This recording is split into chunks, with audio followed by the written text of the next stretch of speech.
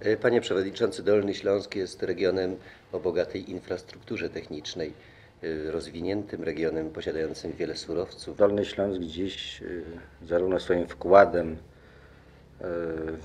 w produkcję przemysłową, gospodarczą, jak i powiązaniem szeregu przemysłów jest nierozerwalnie związany z całą gospodarką narodową i wprost trudno sobie wyobrazić prawidłowy dalszy rozwój, produkcję w takiej skali, jaka aktualnie jest jej dynamiki bez udziału Dolnego Śląska.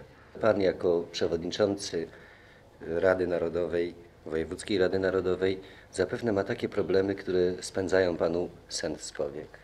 Każdego dnia pewnie. Tak, no w ogóle to jest sporo problemów. Szczególnie to mnie dręczy, no może i dlatego, że niedawno przyszedłem z przemysłu. Ta sprawność działania naszej administracji.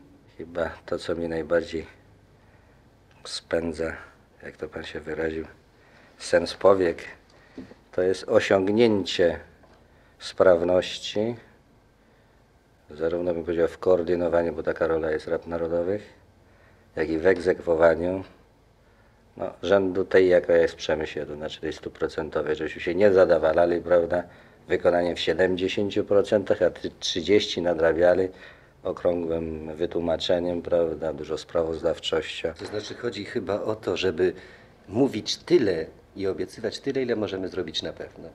No na pewno tak, różnica jaka tutaj występuje, ona na pewno ma swoje szersze uzasadnienie.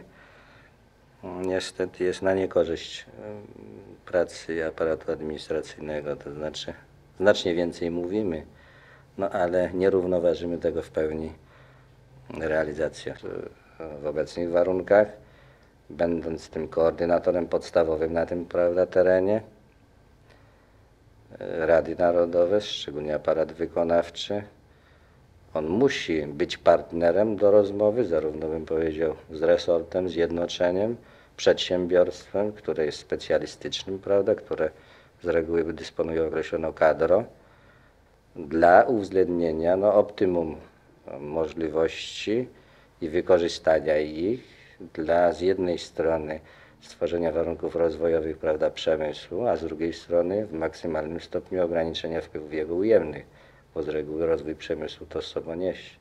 Poza tym no, wykorzystywanie środków wspólnych, do tej pory to poszło.